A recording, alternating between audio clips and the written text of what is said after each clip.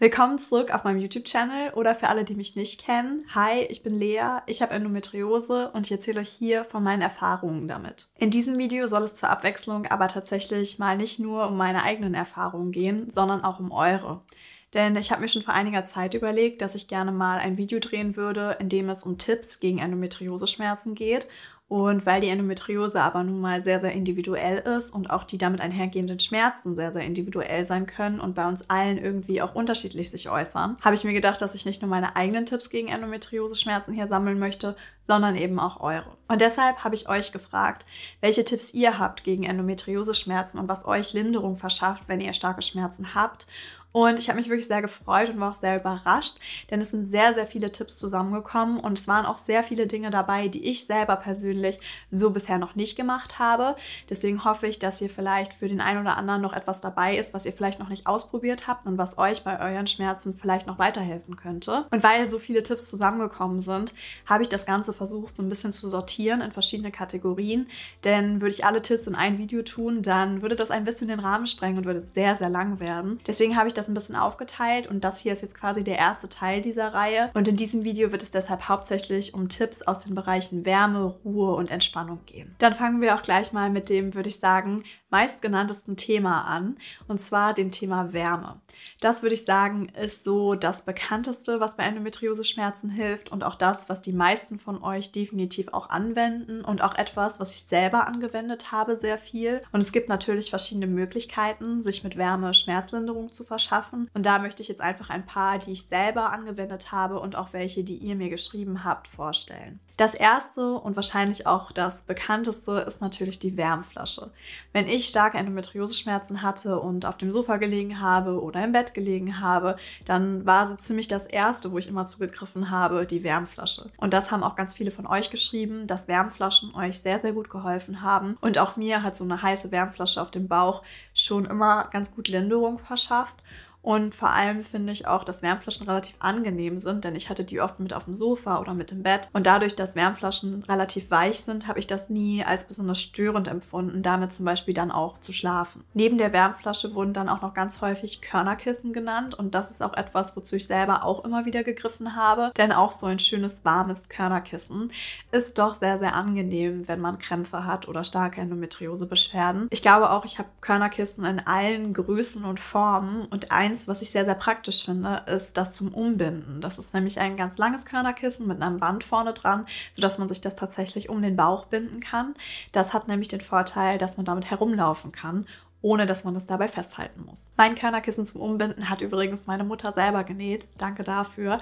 Aber man kann die auch einfach kaufen. Der nächste Tipp aus dem Bereich Wärme ist tatsächlich etwas, was ich bisher selber noch nicht ausprobiert habe, was ich mir aber sehr gut vorstellen kann, dass das die Schmerzen lindert. Und zwar ist es das Thema Heizdecken und Heizkissen. Das haben mir nämlich ganz, ganz viele von euch geschrieben, dass ihr Heizdecken bzw. Heizkissen zu Hause habt und dass die euch helfen, wenn ihr Schmerzen habt, was ich mir sehr, sehr gut vorstellen kann. Ich selber besitze aber weder eine Heizdecke noch ein Heizkissen, habe aber auch schon schon einige Male davor gestanden und überlegt, mir sowas auch zu kaufen. Der letzte Tipp aus der Kategorie Wärme ist dann auch schon einer, der meiner Meinung nach einen ganz guten Übergang zur nächsten Kategorie Entspannung bildet.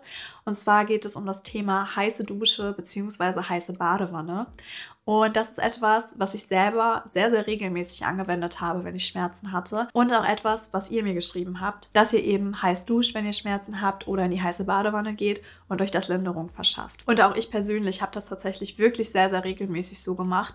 Denn gerade in der Zeit vor meiner OP, in der ich quasi Dauerschmerzen gehabt habe, habe ich wirklich abends mehrfach die Woche in der Badewanne gelegen und das als wirklich entspannend auch empfunden und auch als schmerzlindernd. Wobei ich dazu sagen muss, dass meine Badewanne meistens meistens wirklich so heiß war, dass es im ersten Moment wehtut, wenn man reinsteigt. Aber wenn ich dann eine Zeit lang da drin gelegen habe, hatte ich wirklich das Gefühl, dass sich mein gesamter Körper einfach so ein bisschen entspannt hat und die Krämpfe, die ich ja sehr, sehr häufig hatte, einfach insgesamt ein bisschen besser geworden sind. Aber ich habe auch sehr, sehr häufig sehr heiß geduscht, denn manchmal hatte ich einfach nicht die Lust oder die Zeit, jetzt erst eine heiße Badewanne einzulassen und da dann noch drin zu liegen für eine Weile. Und auch eine heiße Dusche hat natürlich einen ähnlichen Effekt. Das ist jetzt auch erstmal alles gewesen, was ich aus dem Bereich Wärme an Tipps gesammelt habe. Wenn ihr aber noch Tipps habt, die ich jetzt noch nicht genannt habe, die auch irgendwie in den Bereich Wärme gehören, dann schreibt die doch gerne mal in die Kommentare. Neben dem Thema Wärme möchte ich in diesem Video auch noch auf das Thema Ruhe und Entspannung eingehen. Und auch wenn es jetzt natürlich erstmal relativ allgemein klingt, gibt es doch einige Tipps, die ich euch damit an die Hand geben kann, die ihr vielleicht nochmal ausprobieren könnt und die mir gegen Endometriose-Schmerzen geholfen haben und vielen anderen von euch eben auch. Das erste, was dann natürlich zu diesem Thema dazu gehört, ist Schlaf. Meine Erfahrung ist nämlich einfach, dass viel Schlaf bei Endometriose-Schmerzen auf keinen Fall schaden kann. Und diese Erfahrung habe auch nicht nur ich alleine gemacht, sondern auch ganz viele von euch haben mir geschrieben, dass wenn ihr Endometriose-Schmerzen habt, ihr einfach versucht, möglichst viel zu schlafen. Neben viel Schlafen hat mir auch persönlich immer geholfen, zu versuchen, zur Ruhe zu kommen,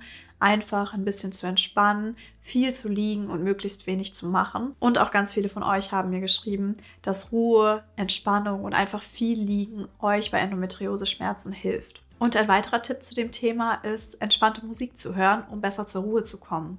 Das ist tatsächlich etwas, was ich selber nicht so mache, aber ich habe das schon von sehr, sehr vielen von euch gehört, dass entspannte Musik euch hilft, besser zur Ruhe zu kommen und zu entspannen. Und um das an dieser Stelle einfach mal zu sammeln, habe ich unten in den Kommentaren einen Kommentar gepinnt, unter dem ihr dann sehr gerne mal eure allerliebsten Playlists mit Entspannungsmusik teilen könnt, sodass ihr und auch ich selber unter diesem Kommentar vielleicht einfach eine kleine Sammlung an Entspannungsplaylists finden können. Ein weiterer Tipp, in dem ich selber tatsächlich nicht besonders gut bin, ist das Thema Stress vermeiden. Denn ich glaube, ganz viele von uns kennen das, dass Stress die Endometriose triggern kann, beziehungsweise Endometriose-Schmerzen, die sowieso schon da sind, noch schlimmer machen kann. Die Erfahrung haben sicherlich viele von uns schon gemacht. Und natürlich ist es dann sinnvoll, Stress möglichst zu vermeiden. Das ist am Ende auch viel leichter gesagt als getan. Glaubt mir, das weiß ich selber zur Genüge. Ich bin ganz schlecht darin, Stress zu vermeiden. Denn oft ist es ja sowieso schon so, dass wir, wenn wir Schmerzen haben, nicht das leisten oder machen können, was wir gerne würden und dadurch meistens sowieso schon Stress haben. Aber ich wollte den Tipp, Stress zu vermeiden, an dieser Stelle trotzdem gerne mit aufnehmen, denn ich kenne es selber wirklich nur zu gut, dass Stress einer meiner größten Trigger ist und alles schlimmer macht. Und das ist bei vielen von euch eben auch so. Weswegen aber eben auch von euch Stress vermeiden ganz, ganz häufig als Tipp gegen Endometriose-Schmerzen genannt worden ist. Passend zum Thema Stress möchte ich an dieser Stelle auch noch kurz auf Meditation, Schmerzmeditation und Atemübungen eingehen. Das ist auch tatsächlich etwas, wo ich selber noch bisher sehr wenige Erfahrungen mit habe. Aber ganz, ganz viele von euch haben mir geschrieben, dass Meditation, vor allem Schmerzmeditation oder auch Atemübungen ihnen sehr bei Endometriose-Schmerzen helfen. Und ich kenne tatsächlich auch sehr, sehr viele andere Betroffene, die das regelmäßig anwenden. An dieser Stelle möchte ich euch natürlich auch noch den Tipp weiterleiten, dass es hier bei YouTube sehr, sehr viele Videos zum Thema Meditation, Schmerzmeditation und auch Atemübungen gibt, die euch da einfach ein bisschen anleiten und an die Hand nehmen, falls ihr damit noch gar keine Erfahrungen gemacht habt. Und damit sind wir dann auch schon beim letzten Tipp aus der Kategorie Ruhe und Entspannung angekommen. Und zwar geht es darin um ätherische Öle. Und ich kann ganz ehrlich sagen, dass ich bis vor kurzem mit dem Thema ätherische Öle gar nicht wirklich etwas anfangen konnte und auch nicht wirklich Berührungspunkte damit hatte. Ich mich aber zurzeit mit einem Aromadiffuser, den ich geschenkt bekommen habe, ein ganz kleines bisschen an das Thema herantaste. Und ich kann zumindest schon mal sagen, dass ich das Gefühl habe, dass so ein bisschen Lavendelöl durchaus zu meiner Entspannung beiträgt, wenn ich Schmerzen habe. Und auch viele von euch haben eben diese Erfahrung gemacht. Und ich würde auch sagen, dass diejenigen von euch, die ätherische Öle anwenden, da wahrscheinlich mehr Erfahrung mit haben als ich. Und deswegen pinne ich euch auch dafür unter diesem Video einen Kommentar, unter dem ihr dann sehr gerne von euren Erfahrungen mit ätherischen Ölen erzählen könnt. Und das waren dann jetzt auch alle Tipps aus dem Bereich Ruhe und Entspannung, die ich hier mit euch teilen wollte. Solltet ihr aber natürlich noch mehr Tipps gegen Endometriose-Schmerzen aus der Kategorie Ruhe und Entspannung haben, dann schreibt sie gerne mal in die Kommentare. Ich hoffe sehr, dass hier vielleicht der ein oder andere Tipp noch dabei gewesen ist, den ihr noch nicht gehört gehört habt oder noch nicht ausprobiert habt